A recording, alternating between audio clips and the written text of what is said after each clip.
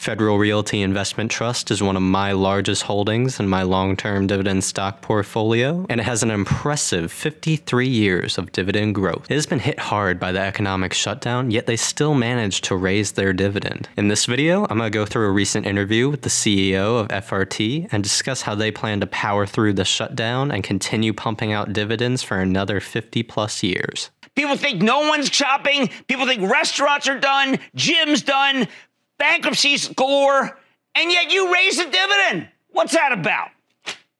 Well, let's, boy, you got to unpack a lot there, Jim. There's a lot to talk about. And, uh, you know, are things a mess in the middle of a pandemic? Of course they are.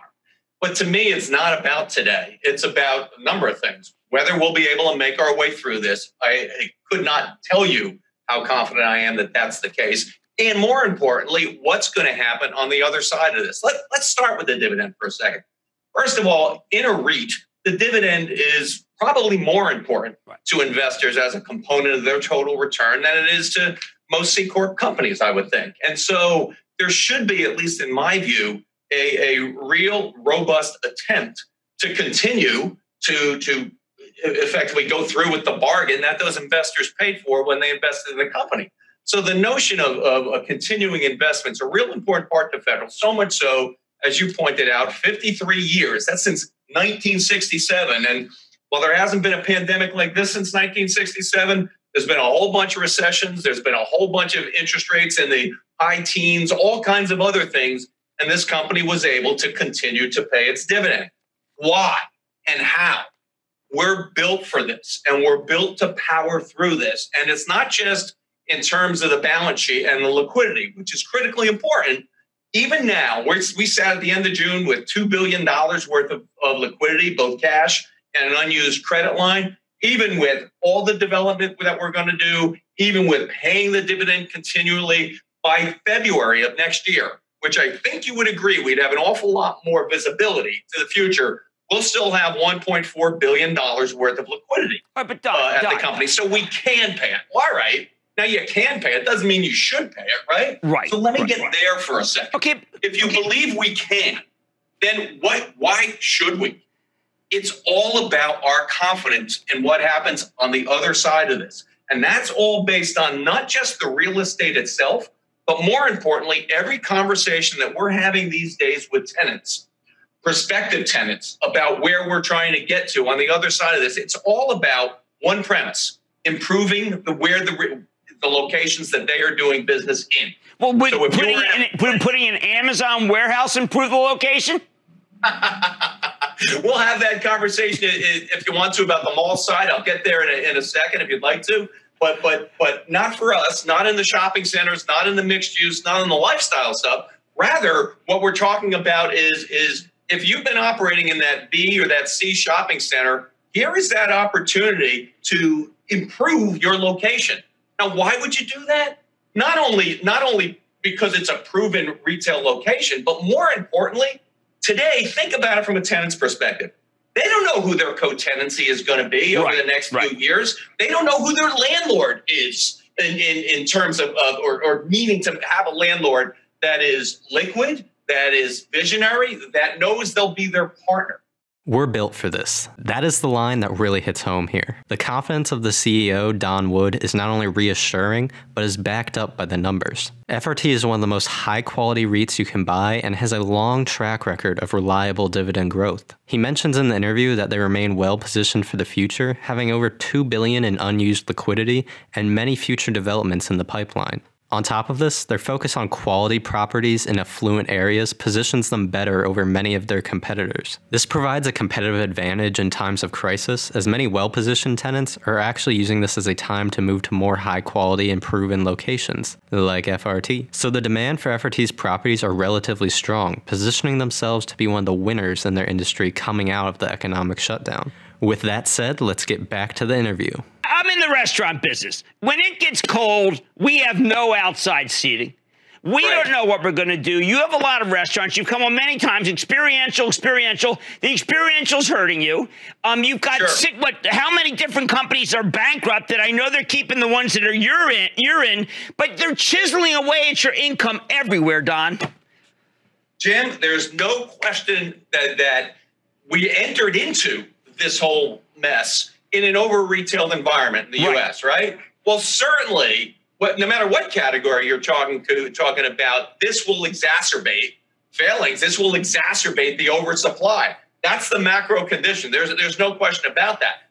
But to me, that means there won't be. Not everybody can be a winner here, so you better be pretty careful. You have to ask me, but where's Don your demand going to come from to be able to backfill and to grow and to create value on the other side of this? That's where I'm saying, look at the the improvement in real estate quality Mhm. that tenants who hadn't had that opportunity before can do now. That's what we're hearing. That's not a guess. Those But do you need a vaccine? Does your strategy need a vaccine? First of all, the whole every strategy, in my view, of a company, any company that's been hurt by this needs a vaccine. Okay. So fair, let's let's get that off the table. Absolutely, there needs to be a, a vaccine, but but absent that does not it doesn't mean, from my point of view, that that we won't get through this and be able to create everything I'm thinking about is not about today. It's about later in 21. But but, but David Simon says the same thing to me. But then you know you had to adjust his dividend.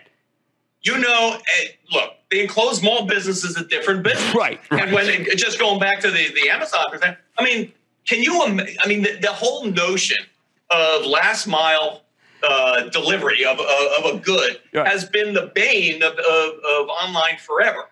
Does it make sense to effectively get closer and, and you know, the close in suburban malls to, to do that? Sure, it does. I hope they do. Now, I don't know what that does to the merchandising of the, sh- of the mall, but that's that's a smaller problem, frankly, than than than you know getting the right tenant in that space. But to me, Jim, nobody argues about this. The best way to deliver a, a, a good to the end user is to have that end user go to the store and pick it up.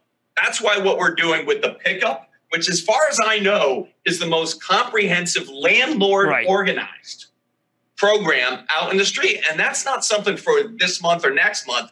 That's forever. That's the way you engage the community with your uh, bricks and mortar retail. All right, so Don, we're, we're gonna have to cut it short. But uh, look, I know that if it's gonna, if anyone's gonna pull it off, it's you. Uh, I- it I- off, Jim. Everyone needs to read the conference call because you lay it all out. And I believed after I read the conference call, and I was skeptical before I did, Don. But I believe. All right. Jim, let's just show you over time. All right. Fair enough. One of the keys to FRT's business is their diversified income stream. Their tenants are across many different categories such as residential, office, grocery and drug, banking, restaurants, apparel, beauty, fitness, and countless more. As of June 30th, 68% of their total rents were collected. Many of the sectors were practically uninterrupted, like banking, grocery and drug, residential, and office. However, others like restaurants, retail shops, and gyms were hit much harder. This is all trending in a positive direction, though, as by July 31st, FRT improved to 76% of total rents collected. I suspect this will only continue to improve as we move out of the economic shutdown. FRT has innovated during these unprecedented times, creating a new developer organized pickup infrastructure to support all of their tenants. This shows that FRT acts as partners with their tenants, realizing that they're an essential part of the company. This program is planned to stay in place, adding to the long term potential and reliability of FRT. In the Q2 earnings call, the CEO said, Continued positive trends in our collections, our fortress balance sheet built for times like these, and most importantly, the continued desirability of our locations, as evidenced by our current tenant discussions, gave us the confidence this quarter to increase our dividend for the 53rd year. I certainly think that FRT is well positioned for the long term and that their dividend will grow for decades to come. If you want to learn more about FRT, then check out the full stock review I did on the company. As a fair warning, that was only my second video on the channel, so the quality is not up to par with my more recent content. If you're wondering about my buying strategy with FRT, I'll be looking to pick up more whenever it's below my cost per share of $78.16. This is potentially one of the best times to buy FRT as it's trading vastly below its historical prices. Right now, you can get FRT at over a 5% dividend yield, which is dramatically more than its typical yield between 2.5 and 3.5%. Of course, don't follow my advice blindly and be sure to do your own research before making any investment decisions. Thank you for watching Dividend Data. I'd greatly appreciate it if you could leave a like and subscribe to the channel. If you follow me on Twitter, link in the description, you can get real time updates of my buys and dividends coming in. You can support the channel on Patreon and be a part of helping make these videos happen. The link is in the description. Please leave a comment below and thank you for watching.